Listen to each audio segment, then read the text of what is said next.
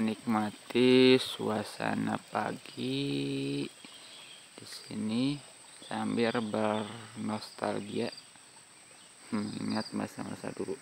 Dulu kalau musim kemarau mandinya itu ke sana ke kali yang di sana yang di bawah. Bawah sawah yang di sana di bawahnya ada kali.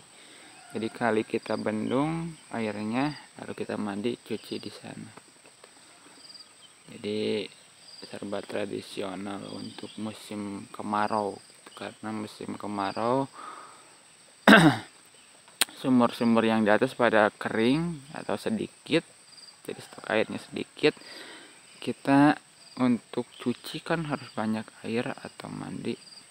Kita ke sini ya kita tempuh jarak lah sekitaran berapa ratus meter lah dari rumah ke sini. Jadi kita dapat satu olahraganya dapat mandinya dapat. Tapi kalau udah naik lagi ke sana keringetan lagi gitu. Cuman gitu aja. Tapi itu yang dilakukan oleh orang-orang tua dulu termasuk saya juga pernah ngelakuin itu sampai sekolah MTS eh, kalau gak salah. Jadi kalau orang tua-tua dulu kita dulu itu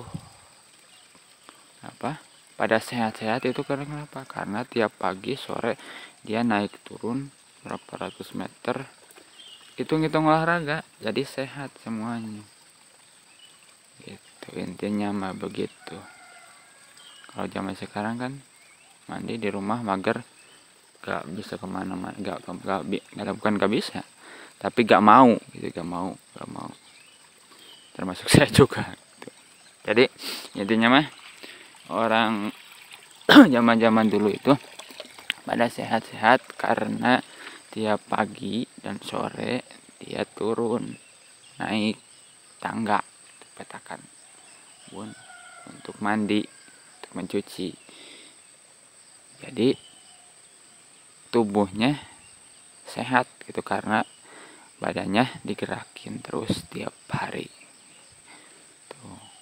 jadi selain aktivitas ke lahan sawah atau lahan kebun lahan garapan di sini aktivitas paginya juga untuk mandi sama mencuci.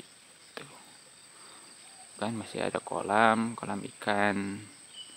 Ada WC nya juga water closet. Bukan water closet. Kalau bahasa Sundanya tuh pangisingan. Buat BAB buat BAB ini jadinya. Pemandiannya atau tampian. Dan itu ke sana jalan pulangnya. Oke? Semoga video ini bermanfaat dan semoga memotivasi untuk hidup sehat setiap hari. Oke? Terima kasih. Assalamualaikum warahmatullahi wabarakatuh